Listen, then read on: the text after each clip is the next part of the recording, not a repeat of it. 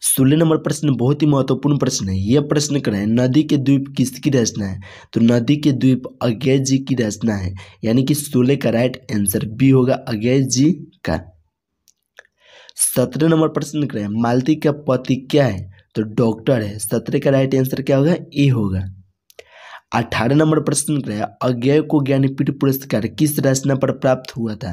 तो कितनी नाव में कितनी बार, यानी कि अठारह का राइट आंसर ए होगा, कितनी नाव में कितनी बार?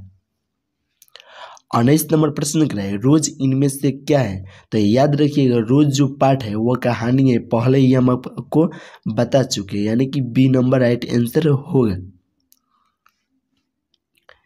तो बीस नंबर प्रश्न को देखते हैं। बीस नंबर प्रश्न का है सचिदानंद हिरानंद वाजसे आज्ञा द्वारा लिखी हुई कहानी कौन सी है?